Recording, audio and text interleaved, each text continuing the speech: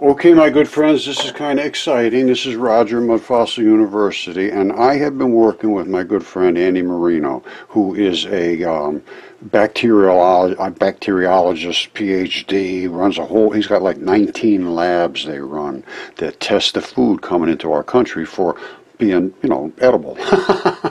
now, this is, um, we contacted this company who um, just amazingly, this is just amazing. We contacted them about they're doing microbiome studies of what bacteria live in what areas of the body and so forth. So anyway, they contacted me back. Carl Morgan manages the office and runs the European operations.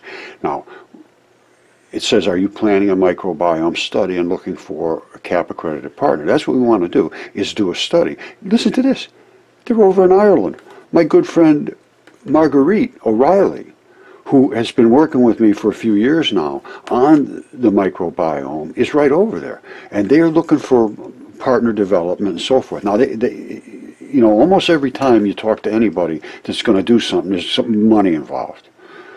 I don't know how that's going to happen, but it says contact us here or request a quote using this form. Now, what are what do we need? We need to get some some information related to how the microbiome in the body is literally organized. What different types of bacteria exist in different membranes? Because I don't know if they fully understand the membrane association, the interstitium association, the what's called membrane bound bacteria. They live in these little fluid-filled pockets. In all, every membrane has them, every single one. And it, the membrane is a barrier. It is a barrier between you and invasion. Capiche?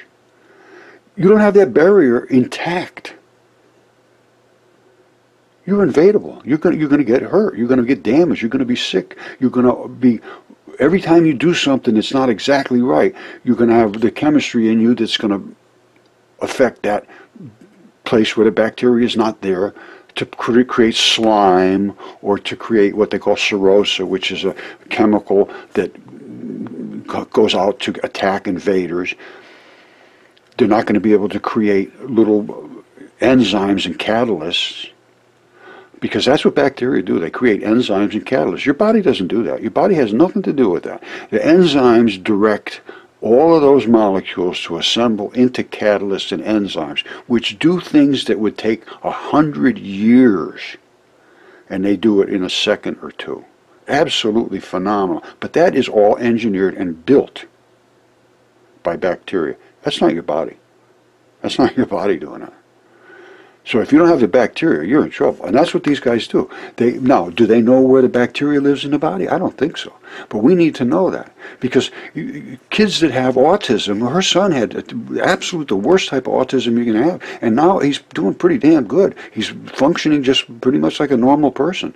Before, he, he's not, he never talked. He's stum, stimming and humming. And what that is, is an invasion of the membranes, the myelin membranes, that surround the nervous conductors in your body.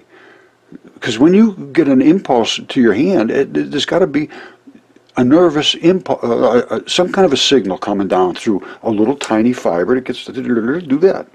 Well, uh, what happened? Why are you doing this instead of going like that? When I see that in a, in a, I used to work on business machines. When I saw that, thing something was shorted out. it's as simple as that. You know, almost always. You know, this goes way back when, when things did get shorted out and they didn't explode. They just sort of went crazy. But that's what I see. And I, I'm telling you right now, Every single membrane in your body has a different type of bacteria. And when I say every membrane, I say tendons, a certain type of tendon has this exact type of, of, of bacteria lives there because it has to protect that type of chemistry.